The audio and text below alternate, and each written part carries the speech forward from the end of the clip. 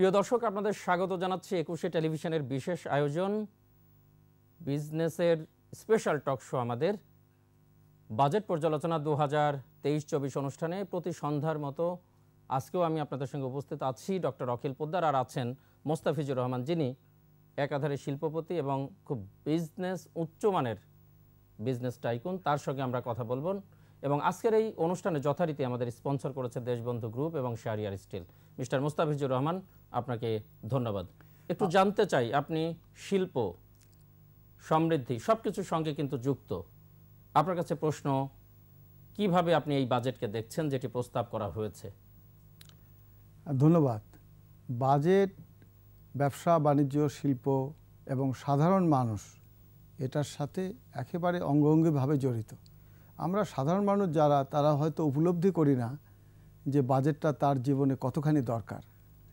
কিন্তু আপনাকে যদি একটু অল্প কথায় যদি বুঝাই, তাহলে বাজেটই হলো আমাদের দেশের অর্থনীতির প্রবৃদ্ধির যে দিক নির্দেশনা, যে আমরা কোন সেক্টরে সরকার বেশি গুরুত্ব দিচ্ছে, সরকারের উন্নয়নের অগ্রাধিকার খাতগুলো কোনগুলো, সেটা কিন্তু বাজেটই নির্ধারণ করে দেয়।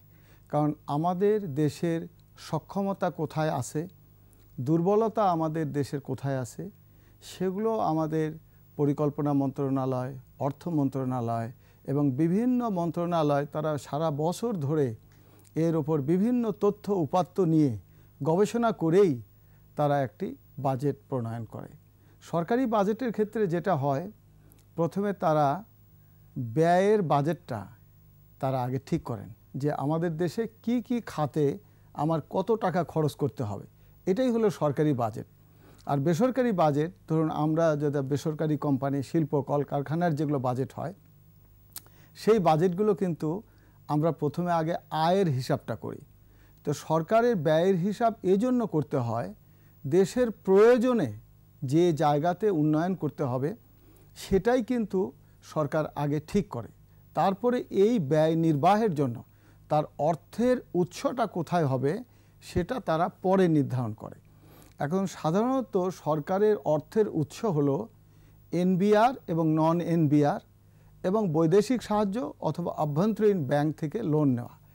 এই চারটা জায়গা থেকেই কিন্তু সরকারের অর্থ আসে। তা আপনি বলছেন যে এই বাজেটটাকে আমি কীভাবে দেখি? আমার কাছে যেটা খুবই মানে গুরুত্বপূর্ণ মনে হয়, সেটা হলো সারা পৃথিবীতে যে অর্থনৈতিক মন্দা হয়েছে এবং কোভিড টাইমে যে আমাদের যে অর্থের সঞ্চালনা বেশি হবার কারণে বাজারে মানি সরবরাহ যখন বেশি হয়, তখন মানির অর্থের ক্রয় ক্ষমতা কমে যায়। এটা একটা অর্থনীতির সাধারণ হিসাব। এরকম একটা ভঙ্গুর পরিস্থিতিতে আবার যখন ইউক্রেন এবং রাশিয়ার যখন যুদ্ধ হচ্ছে, তখন কিন্তু আমাদের যেগুলো আমদানি নির্ভর পণ্য, সেগুলো কিন্তু আমাদের ব্যাহত হচ্ছে। যেমন ধরুন আমাদের সার এবং জ্বালানি যে কৃষির যে, যেটা আপনার অত্যাবশ্যকীয় উপাদান, সেগুলোকে আমাদের আমদানি করতে হয় এবং জ্বালানি আমদানি করতে হয়। এবং ইনফ্লেশন আমাদের ডলারটা আমাদের আমদানি ব্যয় থেকে, আমাদের যে সমস্ত পণ্য রপ্তানি করি, সেখান থেকে আসে। আমাদের শ্রমিক ভাইয়েরা এবং আমাদের দেশের যারা শিক্ষিত, প্রশিক্ষিত আধা শিক্ষিত লোক যারা বিদেশে থাকে, তাদের রেমিটেন্সের টাকা আসে। এখন দেখুন, আমাদের এই যে বাজেট যেটা ভালো দিক, সেটা হলো আমরা একটা অনেক বড় বাজেট দিয়েছি। আর এই বাজেটটাই হলো আমাদের কাছে একটা সবচেয়ে গুরুত্বপূর্ণ যে আমরা বৈদেশিক এই যে আন্তদেশীয় এবং হলো যে আন্তর্জাতিক বাজারে যে অর্থনীতির যে মন্দা, বহির্বিশ্বের যে বিভিন্ন পণ্যের দামের উত্থান, পতন, এর মধ্যে আমরা কিন্তু বাজেটকে কিন্তু আমরা সংকুচিত করি নাই। একটু একটু জানিয়ে রাখি যে আপনি কিন্তু ন্যাশনাল এগ্রিকেয়ার গ্রুপ এবং ওয়ান ফার্মার ব্যবস্থাপনা পরিচালক এবং আপনার অধীনে আইসিটি রিয়েল এস্টেট ওষুধ এই নানান কিন্তু ব্যবসা আপনার আছে। বিশেষ করে কৃষিতে আপনার একটা বড় অবদান রয়েছে। এগ্রোতে আপনার একটি বড় অবদান রয়েছে। তো সব কিছু মিলে কিন্তু বহির্বিশ্বের সঙ্গে আপনার একটা যোগাযোগ রয়েছে বিশেষ করে আমদানি এবং রপ্তানির ক্ষেত্রে। সেই বিবেচনা থেকে যদি বলতেন। হ্যাঁ সেটা হলো যে আমাদের যেহেতু আমদানি নির্ভর অর্থনীতি এবং সেই আমদানিকে যেভাবে কমানোর জন্য আমাদের মাননীয় প্রধানমন্ত্রী যে অর্থনৈতিক দর্শন যেটা দিয়েছেন, যেটা হলো আবাদি জমি, এক ইঞ্চি আবাদি জমি ফাঁকা রাখা যাবে না। আমদানির বিকল্প পণ্য আমাদের দেশে উৎপাদন করতে হবে এবং গ্রামকে শহরে পরিণত করতে হবে। এই যে যুগান্তকারী যে অর্থনৈতিক দর্শন এবং রাজনৈতিক দর্শন যেটা দিয়েছেন, এটাকে ঘিরেই কিন্তু আমরা যারা এখানে শিল্প কলকারখানায় আমরা যারা করেছি, তো স্থানীয় শিল্পকে কিন্তু গুরুত্ব দেওয়া হয়েছে। এবং যাতে আমদানির বিকল্প পণ্য আমাদের দেশে উৎপাদন করতে পারি, সেই আমদানি নির্ভর জায়গায় আমরা সারা পৃথিবীতেই অর্থনীতির একটি মন্দা আছে, যেটা আমরা বর্তমানে ব্যবসায়ীরা যে চ্যালেঞ্জটা মোকাবেলা করছে, যে ধরুন এলসি খোলার ক্ষেত্রে কিছু প্রতিবন্ধকতা আছে, এই বিষয়গুলোকে যদি আমরা কাটায় উঠতে পারি, তাহলে কিন্তু আমাদের দেশের যে অর্থনৈতিক যে প্রবৃদ্ধি, সাধারণত এটা দেখা যায় না যে একদম ধারাবাহিকভাবে পনেরো বছর একটা অর্থনীতি আপনার গ্রো করতেছে, এটা প্রবৃদ্ধি হচ্ছে, এটা কিন্তু পৃথিবীতে খুব নজির কম।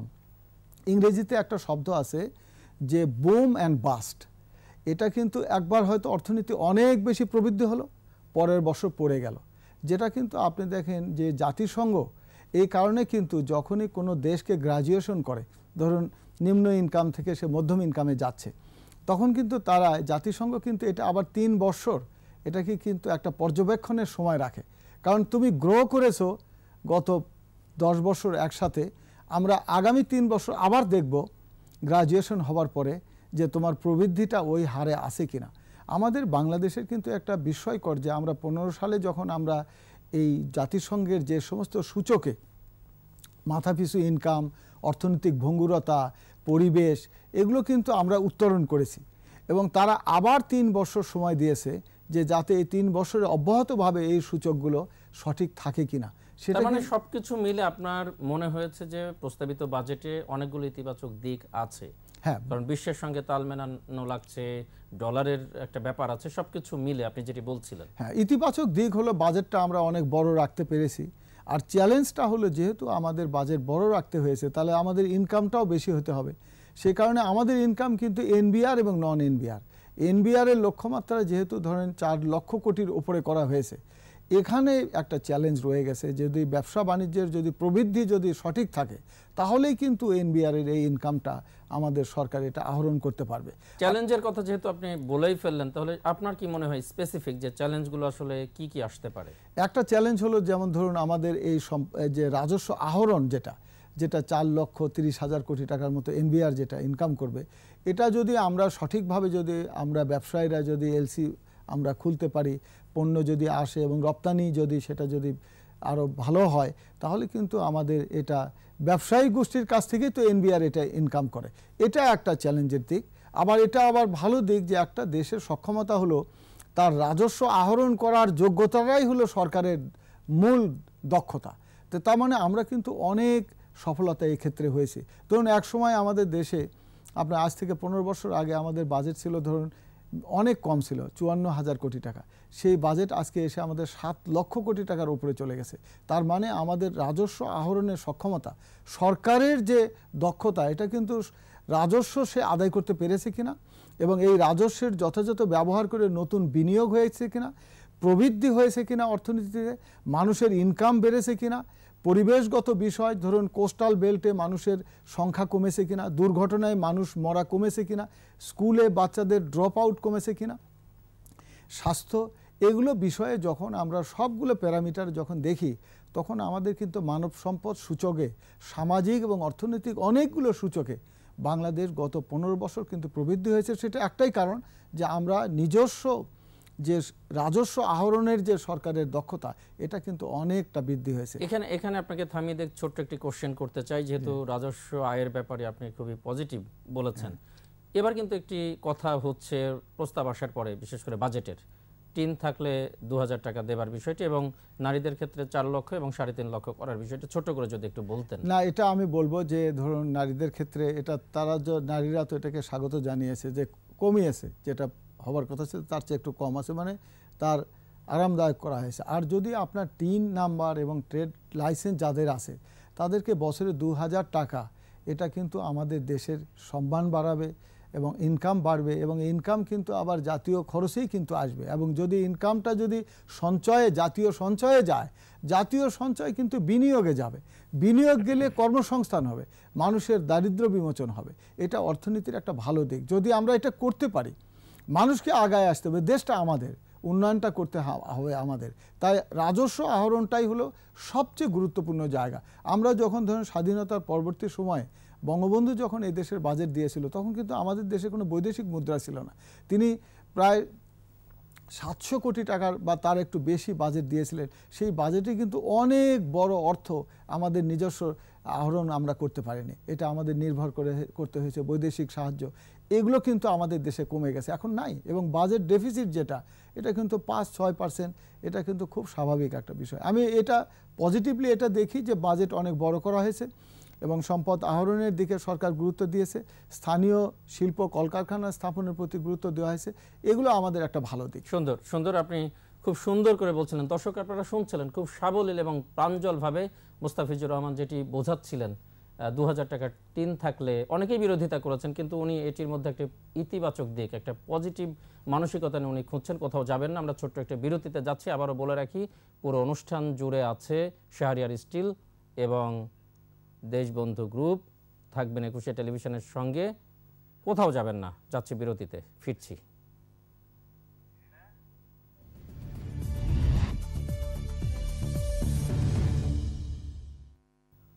দর্শক বিরতির পর আবার ফিরে এলাম বাজেট পর্যালোচনা দু হাজার তেইশ চব্বিশ অনুষ্ঠানের সঙ্গে আছি আমি ডক্টর অখিল পোদ্দার আর আছেন মোস্তাফিজুর রহমান, যিনি ন্যাশনাল এগ্রিকেয়ার গ্রুপ এবং ওয়ান ফার্মা লিমিটেডের ব্যবস্থাপনা পরিচালক। মোস্তাফিজুর রহমান, আপনার যে কটি ব্যবসা, প্রত্যেকটি ব্যবসা কিন্তু গণমানুষের সঙ্গে। ফার্মাসিউটিক্যাল, রিয়েল এস্টেট, এগ্রো, কৃষি সব কিছুতেই কিন্তু আপনার একটি বড় অবদান রয়েছে দেশে। গণমানুষের যে বাজেট বলা হচ্ছে সামনে নির্বাচন, এই জায়গা থেকে আপনার মূল্যায়ন জানতে চাই। গণমানুষের প্রথমত নির্বাচনের বছর যখন হয়, সেটা কিন্তু সারা পৃথিবীতেই আপনি যদি দেখেন যে পশ্চিমা দেশগুলোতেও নির্বাচনের বছরে অর্থনীতিতে চাপ থাকে। মানে অ্যাগ্রিগেটেড ডিমান্ড যেটা, সেটা কমে যায়। অর্থনীতির প্রবৃদ্ধিটা ওইভাবে হয় না। কিন্তু আমাদের দেশে আমরা এবারে যেটা, আমরা যেটা পূর্বাভাস করা হয়েছে যে সাড়ে সাত পার্সেন্ট অর্থনীতির প্রবৃদ্ধিকে যে পূর্বাভাস করা হয়েছে, এটা অনেক উচ্চাভিলাষী এবং এটা যদি আমরা করতে পারি, সেটা কিন্তু আমাদের জন্য খুবই ভালো। আবার ইনফ্লেশন যেটা যেটা ধরুন দ্রব্যমূল্যের ওপরে যে প্রসার পড়ে, এই বাজেটে কিন্তু এই জিনিসটাকে একেবারে অনেক নিচে নামানোর পরিকল্পনা রাখা হয়েছে, সাড়ে ছয় পার্সেন্ট মানে সাড়ে নয় থেকে সাড়ে ছয়। এটাই কিন্তু গণমানুষের ওপরে এর প্রভাবটা পড়বে। কারণ সাধারণ মানুষ যারা যারা ধরুন যাদের ইনকাম এত সীমিত, অনেকেই আছে যারা দরিদ্র, হতদরিদ্র। একদিনের ইনকাম দিয়ে একদিনের খাবার হয় না। এই মানুষগুলোকে আমরা কিন্তু এটা সোশ্যাল সেফটি নেট যেটা, সামাজিক নিরাপত্তার মধ্যে কিন্তু আনা হয়েছে। অনেক অসংখ্য মানুষকে তাদেরকে ধরুন কাজের বিনিময়ে খাবার প্রকল্প রাখা হয়েছে। তাদেরকে বিনা মানে কোনো কোনো ইয়েতে ভর্তুকি দেওয়া হয়েছে মানে যে সামাজিক নিরাপত্তার জন্য এটা দেওয়া হয়েছে। টিসিবিতে অনেক কম মূল্যে খাবার সরবরাহ ব্যবস্থা করা হয়েছে, খাদ্যদ্রব্যের দাম কমানো হয়েছে। এগুলো হলো গণমুখী বাজেট।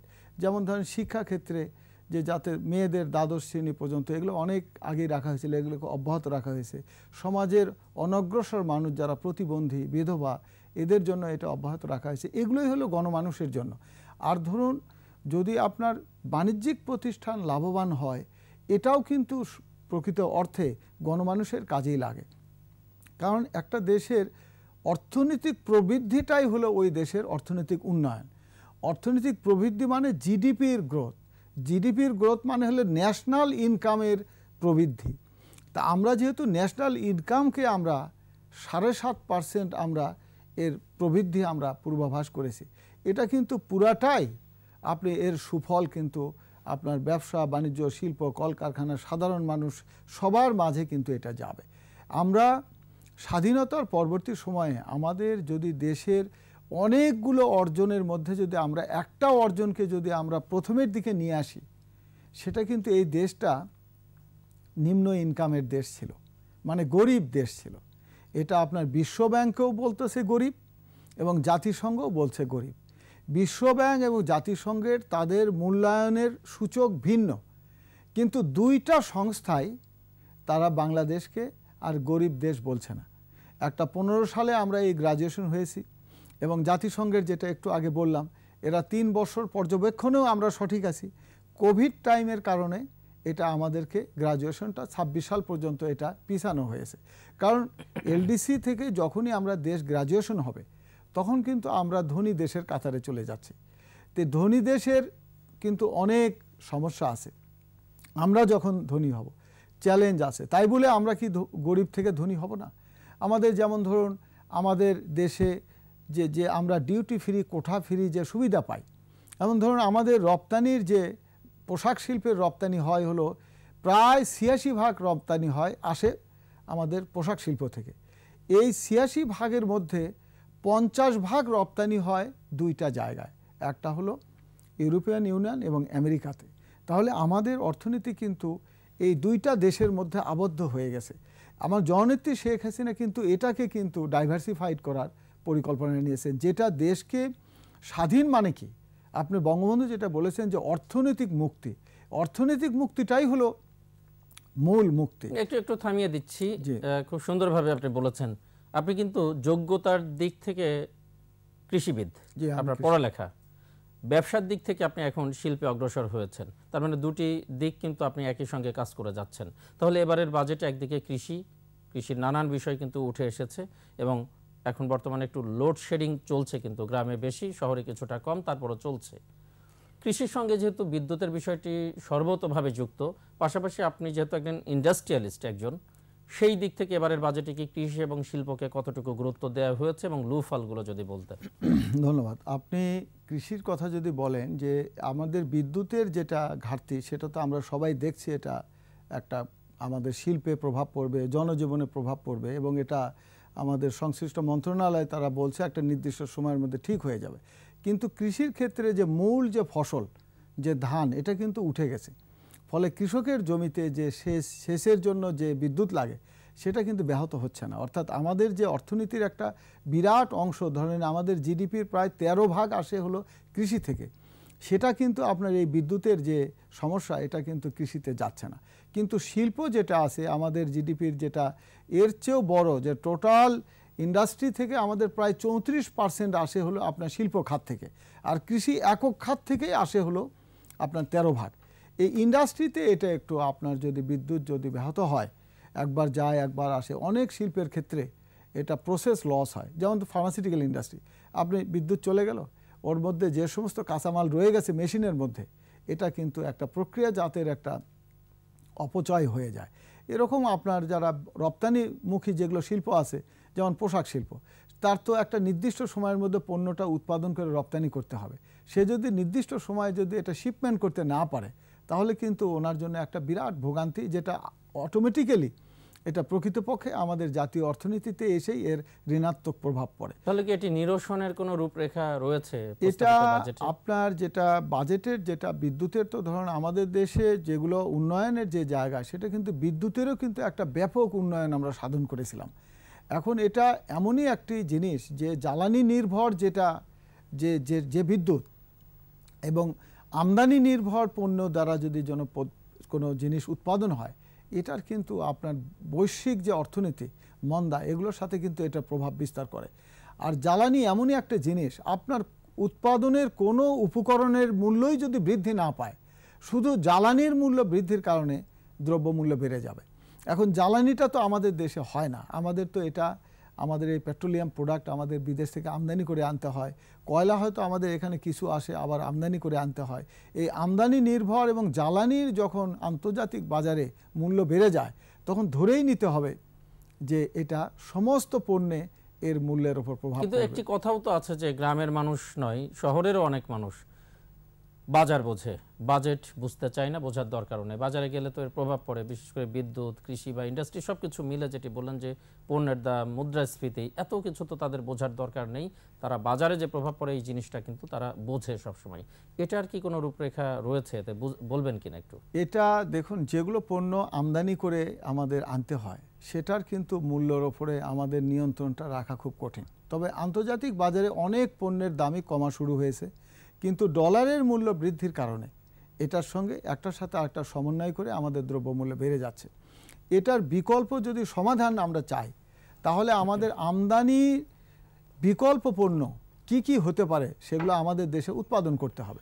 যেমন কৃষির ক্ষেত্রে যদি আমি বলি, এবং ফার্মাসিউটিক্যাল ইন্ডাস্ট্রির ক্ষেত্রে যদি বলি, ধরুন কৃষির উপকরণ যেগুলো, গুরুত্বপূর্ণ সমস্ত উপকরণই আমাদের আমদানি করে আনতে হয়। আমাদের অর্থনীতির একটা দুর্বল জায়গা। আমরা সেই তিপ্পান্ন বছর আগে আমাদের বঙ্গবন্ধু যে কৃষি উপকরণগুলো বিনামূল্যে প্রদান করেছেন আজকে তিপ্পান্ন বছর পরে এসেও আমরা এই এই জিনিসগুলো আমাদের আমদানি করে আনতে হবে এবং শুরুর দিকে কিন্তু এরকম একটি রূপরেখার কথা আপনি বলেছিলেন যে গ্রাম শহর হবে। তো গ্রামকে শহর করতে হলে আপনার গ্রামীণ অর্থনীতিতে হাত দিতে হবে। এখন গ্রামে কি আছে? গ্রামে ধরেন কিছু দোকানপাট আছে কৃষি আছে।